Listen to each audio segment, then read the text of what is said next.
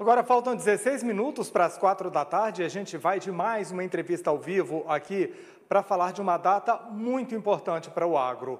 Hoje, 22 de abril, é comemorado o Dia da Terra. É dia da gente refletir sobre o uso e a conservação dela, sobre a importância da terra para a atividade agropecuária e para a vida em si. E para a gente abordar tudo isso, eu vou conversar agora, ao vivo, com o Marcos Nakagawa, que é professor de sustentabilidade da ISPM. Boa tarde, Marcos. Seja muito bem-vindo. Muito bom ter você aqui com a gente, viu?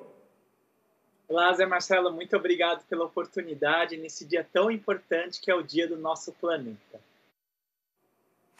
Olha só, a gente vai falar sobre o dia desse planeta, mas também, Marcos, eu quero falar sobre o dia, é, sobre o, o, seu livro, né? Você é autor do livro 101 Dias com Ações Mais Sustentáveis para Mudar o Mundo.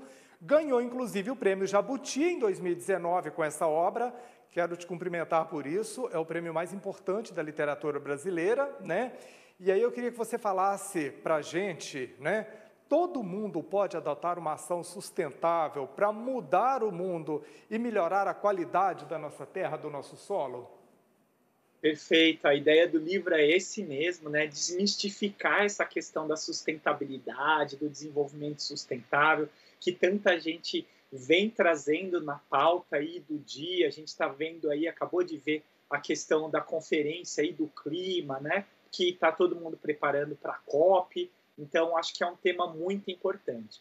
Uma das ações que eu coloco no livro, que é bem simples, é acompanhar sites e blogs sobre sustentabilidade, começar a pesquisar sobre o tema e principalmente como isso pode afetar o seu dia a dia aí no mundo do agro também. Uma outra sugestão é fazer mais reuniões online. Olha, estamos fazendo tudo aqui online, eu de casa fazendo essa entrevista. Então, dá sim, né? Com a pandemia, a gente aprendeu a trabalhar com esses conceitos e cada vez mais refletir o quanto a gente impacta no planeta, no meio ambiente e também em outras pessoas. Ô Marcos, o Jorge Lucas ia adorar ver a sua estante né, e a sua camiseta. Vejo que você gosta muito de, de, de da obra dele e eu queria aproveitar esse gancho para você pegar aí, olha, atrás de você, o seu livro, mostrar melhor ele aqui para a gente. Não, está à sua direita. Esse outro à sua direita, tá acima do seu ombro aí, fácil. ó. Está mais fácil o Pronto. livro aqui. 101 Sim. dias com ações sustentáveis para mudar o mundo. Muita gente que mora na cidade, às vezes, pensa que não tem como melhorar a qualidade do solo, porque se não planta, se não colhe, se não cria gado, se não cria galinha, não pode ajudar a melhorar o mundo, o planeta e a qualidade do solo, né? Mas as ações da pessoa no dia a dia, com base naquilo que ela consome, já ajuda muito nisso, né? Perfeito. Eu adorei que você citou Star Wars, né? Star Wars para mim é muito emblemático porque as pessoas ficam andando nas naves espaciais pelo universo, né? E a gente não pode esquecer que a gente está dentro de um planeta que é como se fosse uma nave espacial e tudo que está aqui dentro desse planeta só fica aqui dentro. E a gente precisa cuidar exatamente de tudo isso que está aqui dentro do nosso planeta, inclusive do solo. E tudo que a gente consome no nosso dia a dia, tudo que a gente compra, tudo que a gente planta, realmente vai ter os seus impactos ambientais, os seus impactos para a água, para o clima e assim por diante. Então, uma das melhores práticas que a gente tem, viu, Zé Marcelo, é a gente exatamente pensar, estudar e buscar informações. A rede na internet, os cursos online, os cursos presenciais, eles são a nossa chave para o futuro, juntando sempre com a tecnologia. No mundo do agro, é muito importante trabalhar com conhecimento, tecnologia cuidado ao meio ambiente e às pessoas sempre. E também a forma de descartar, né, Marcos? Já teve um tempo em que reaproveitar o pote de azeitona para guardar outras coisas era considerado coisa de pobre ou brega.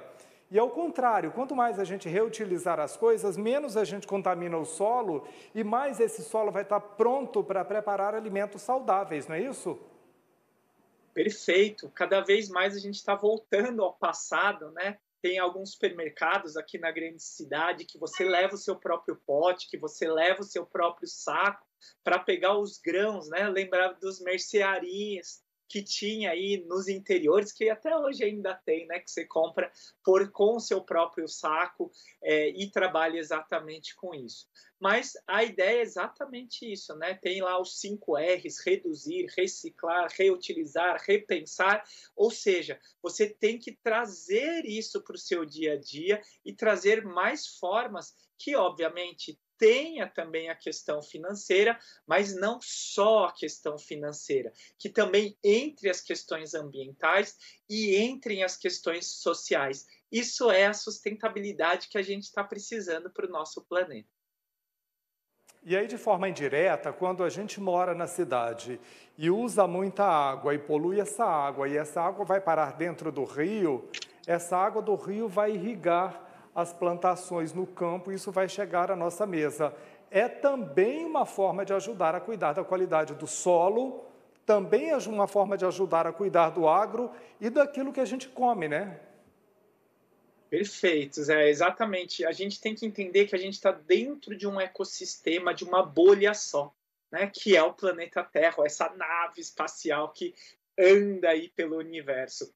E que qualquer ação que você faça, desde descartar alguma coisa errada na cidade ou mesmo no campo, isso vai retornar para você de uma forma aí que pode ser muito maléfico para a gente e para todos, né? Não só para uma pessoa como para todo mundo. Uma das grandes questões que está se falando agora também são as questões dos mares e das águas, tanto que ela acaba transmitindo, né, como se fosse o nossas conexões Wi-Fi, né, que vai trazer as coisas tanto boas quanto as coisas ruins. Muito bem, gente. Eu conversei aqui com o professor Marcos Nakagawa, né, professor de sustentabilidade da ISPM, autor do livro 101 Dias com Ações Mais Sustentáveis para Mudar o Mundo. Professor, muito obrigado mais uma vez pela entrevista. Muito bom ter a sua participação aqui, viu? Um grande abraço, boas vendas aí no livro, não é? E que isso que você pensa e pregue, que os seus alunos repliquem, porque o planeta agradece. Muito obrigado pela oportunidade, que nós tenhamos e comemoramos esse Dia do Planeta com muita consciência, educação e dias mais sustentáveis. Obrigado pela oportunidade, um grande abraço a todos.